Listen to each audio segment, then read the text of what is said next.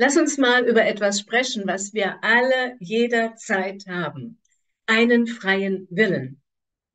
Auch wenn wir uns oft Situationen ausgeliefert fühlen und der Kopf uns erzählt, das kann ich jetzt nicht ändern, das geht jetzt nicht, äh, ich habe keinen freien Willen, was wäre, wenn es doch anders wäre? Lass uns das mal kurz durchleuchten.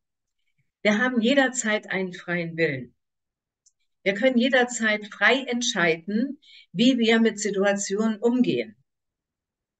Dass das nicht immer unbedingt eines unserer leichtesten Übungen ist, ist ein anderes Thema. Aber grundsätzlich, egal in welcher Situation ich mich gerade befinde, egal wie heftig ich das gerade empfinde, egal wie auswegslos das anscheinend ist im Moment, wie sehr ich mich da gefangen fühle, ich kann frei entscheiden, wie ich mit dieser Situation umgehe, welche Resultate ich daraus ziehe, welche neue Entscheidungen ich daraus treffe. Und wenn ich tatsächlich im Moment keinen Ausweg sehe aus der Situation, kann ich dennoch entscheiden, wie ich mich in der Situation fühle. Ich kann aus jeder Situation auch schauen, wo liegt denn hier das Geschenk darin? Und kann mich damit einhergehend mit dem Geschenk, was ich in jeder Situation erkennen kann, dankbar fühlen, frei fühlen und eine Entscheidung dazu auch treffen. Ich bringe dir ein Beispiel. Mal, so das klassische Beispiel, gerade wenn es darum geht, so Lebensunterhalt zu verdienen, äh, am Ende vom Monat, dass Summe X aufs Konto kommt oder am Monatsanfang oder wann auch immer, einmal, ich es gab bei mir früher auch Zeiten, wo zur Monatsmitte das Geld aufs Konto geflossen ist, als ich noch im öffentlichen Dienst war. Ich habe mir so viel und oft die Geschichte erzählt, ich muss das ja machen, um mein Leben zu gestalten, um Geld zu verdienen. Ich muss da ja ins Büro und, und, und, und, und. Was der Kopf einem da so alles erzählt. Und wir brauchen unseren Kopf, wir brauchen unseren Denker, wir brauchen unseren Verstand. Es geht nicht darum, den Verstand auszuschalten, sondern, wie der Volksmund es uns schon sagt, der Verstand ist ein guter Diener, aber ein schlechter Herr.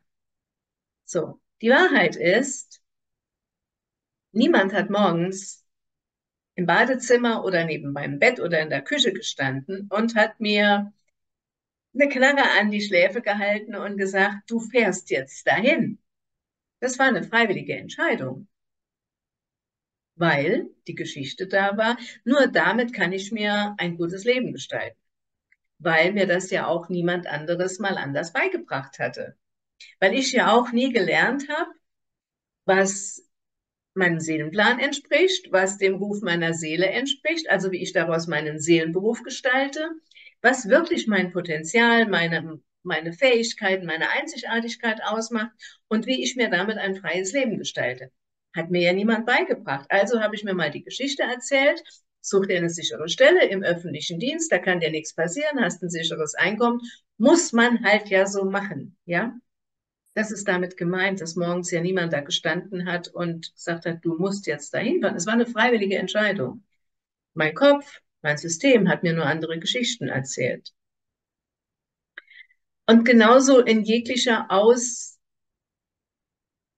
Manchmal haben wir ja Situationen im Leben, kenne ich auch nur zu gut von mir, wo man sich diesen Dingen wirklich total ausgeliefert fühlt, wo man das Gefühl hat, aus dieser Schuse kommst du jetzt nicht mehr raus. Oder keine Ahnung, die Welt bricht jetzt zusammen. Wenn ich mir meines freien Willens in, gerade in solchen Situationen bewusst werde und mich frei entscheide, wie ich mich jetzt gerade fühlen möchte, frei entscheide, meine Aufmerksamkeit zum Beispiel auch in solchen schwierigen Situationen, die Aufmerksamkeit darauf zu richten, was gerade das Geschenk dahinter ist. Wenn das Universum mir Hilfestellungen schickt, Hilfestellungen dahingehend, ähm, dass Menschen zum Beispiel in mein Leben kommen, die mir sagen, hey, hier ist eine helfende Hand, ich kann dir da helfen, bei rauszukommen. Dann ist es ja auch meine freie Entscheidung zu sagen, ich nehme diese helfende Hand an oder halt nicht, ich probiere es weiter alleine. Wie auch immer. Ich habe früher in meinem Leben jahrelang versucht, alleine zu mir selbst zu finden, alleine den Plan meiner Seele zu entdecken. Habe da ganz viele Schleifen jahrelang gedreht. Es waren viele Menschen da, es waren viele Situationen da, die das Universum mir geschickt hat als Botschaft, aber mit meinem freien Willen habe ich mich einfach auch oft jahrelang, es war wirklich jahrelang, dagegen entschieden, weil ich mir die Geschichte erzählt habe, kriege ich auch alleine hin oder, oder was auch immer ich mir da so alles erzählt habe. Und so gesehen kann der freie Wille uns da manchmal auch so ein bisschen im Weg stehen, weil wir die Botschaften des Universums, wie das Universum mit uns spricht, dass es uns den Weg eigentlich schon zeigt, dass Impulse da sind, etwas zu machen, dass Impulse zum Beispiel da sind, sich begleiten zu lassen, dass der Impuls ganz klar ist, hey, jetzt wird es Zeit, dass du wirklich mal ganz in deiner Essenz ankommst und nicht weiter darum eierst und weiter auf der Suche bist.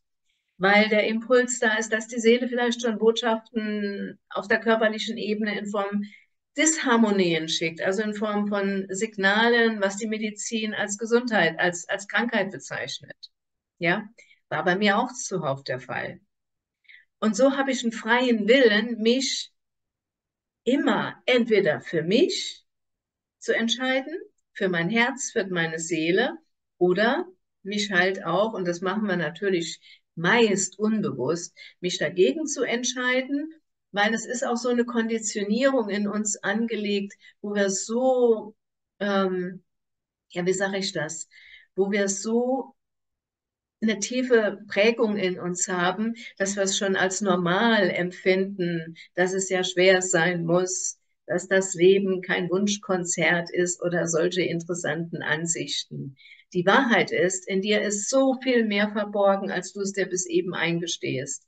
Und die Wahrheit ist, du bist hier, um Freude, Spaß und Leichtigkeit zu haben, um dir ein Leben ganz nach deinem Herzen zu gestalten. Und das ist ja auch der Grund, warum du das Gefühl hast, da muss mehr möglich sein.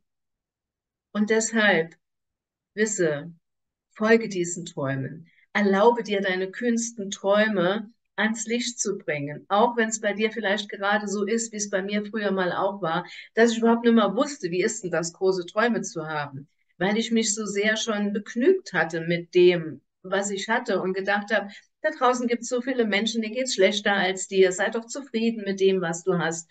Und, und, und. Also so nach dem Motto, nur ja nicht mehr zu wollen. Erlaub dir heute den ersten Schritt in das Leben zu machen, wo dein Herz und deine Seele dich hinführen möchten. Es ist alles im universellen Feld auf einer anderen Dimension schon für dich vorbereitet. Du darfst dich einfach mit deinem Frillen, mit deinem Frillen, mit deinem freien Willen dafür entscheiden, für dich, für dein Herz, für deine Seele. Und dann wirst du staunen, wie rasch das Universum auch in Bewegung kommt und dir deine Lebenswirklichkeit erschafft. Und zwar so, wie sie wirklich deinem Herzen und deiner Seele entspricht. Wundersame Dinge werden geschehen. Ganz rasch. Habe ich schon so oft erlebt, nicht nur bei mir, sondern eben auch bei vielen Menschen, die ich ja da in der Zwischenzeit, in der Zwischenzeit auch schon begleiten durfte und immer noch begleite.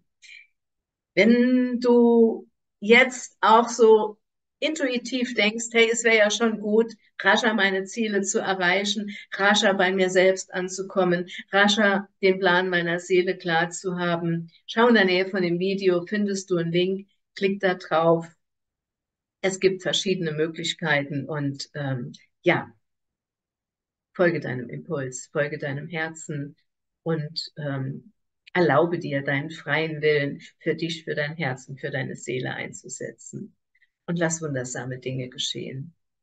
Komm in dem freien Leben an, wo dein Herz und deine Seele dich schon so lange hinhaben möchten und dich hinschubsen möchten. Es ist so viel mehr für dich möglich.